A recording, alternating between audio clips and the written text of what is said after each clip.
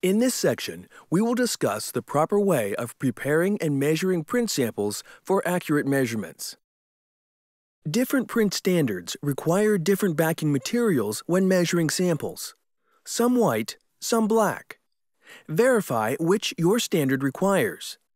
Never read a non-opaque printed sheet on top of another printed sheet or a colored surface. The instrument must sit flat on your measurement sample. On thin substrates, your instrument may overlap off the edge of the sheet. On very thick substrates, make sure your instrument is flat on the sheet. Hold the instrument by placing your thumb and forefinger on the black areas located on the sides. Place the instrument on the patch to be measured. The patch must be centered within the target opening. It's okay if it doesn't completely fill the opening, but must be centered and the corners of the patch should touch the edges of the opening.